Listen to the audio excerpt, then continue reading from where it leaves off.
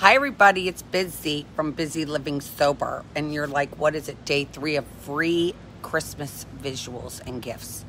So, why am I lying down on the ground? Because here, this is why. I'm watching the clouds go by. Anybody can have clouds, right? Anybody can have clouds.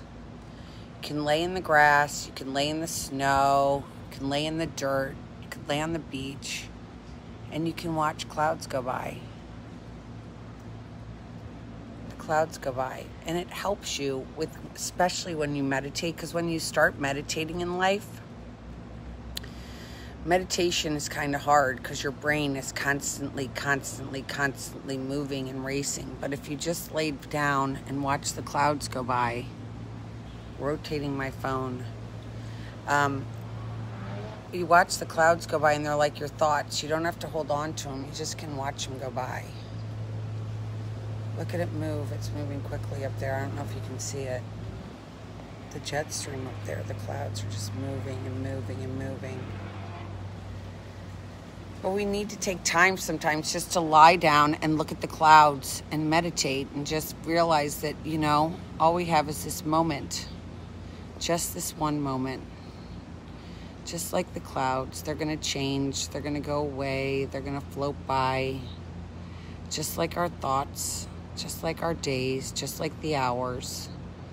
And if we hold on too tight, we get really messed up, at least I do. I have to let go. And for me, I let go and let God.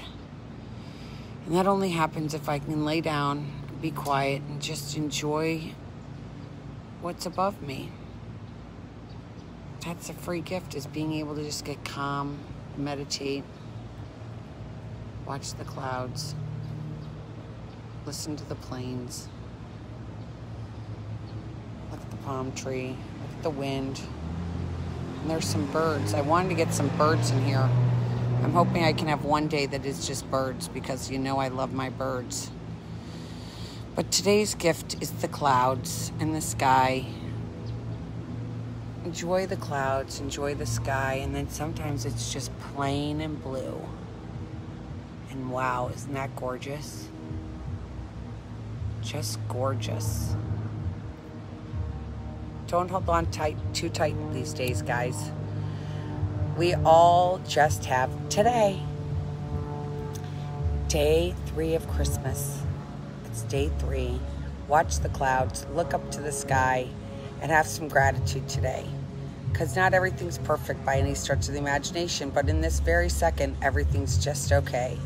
Have a good one, everybody. You only have two more days after today. That's it. And there's my kids pulling up. All right. Take care, everybody. Keep getting busy, Living Sober.